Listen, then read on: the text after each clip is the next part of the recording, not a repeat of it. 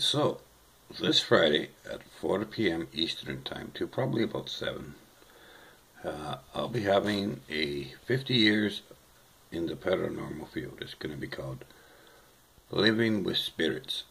That's the name of uh, my show for that day. Everyone is invited, of course. Uh, I hope you all come and we're going to have a good time. Nah, no crap. We just want to have a nice time and a nice visit and uh, talk about, you know, the things that I've seen over the last 50 years while I've been doing this kind of stuff and some of the stuff that I've done, you know. Uh, hopefully have some guests up on there, some guest panelists. Uh, and I'll be inviting uh, different people who might want to come up and, and say a few words or whatever.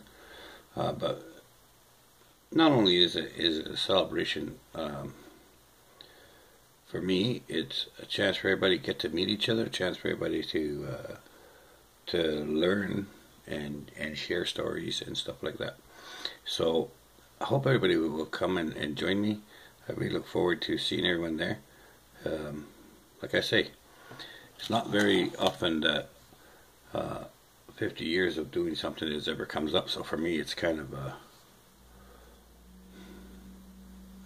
well, it's not really I was going to say it's kind of a big thing, but it's not really a big thing. It's just my life anyway. Uh, but it is 50 years of, of, of dealing with uh, different issues, um, and I'm still here. So I guess that's a good thing.